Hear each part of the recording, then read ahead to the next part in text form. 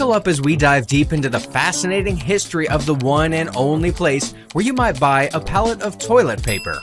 It was a concept that was simply mind blowing at the time, offering high quality products in bulk at wholesale prices. People couldn't resist the allure of massive savings when buying in bulk, and the concept quickly spread like a wildfire. Fast forward to the magical year of 1983, and a new contender entered the scene the one and only Costco Wholesale.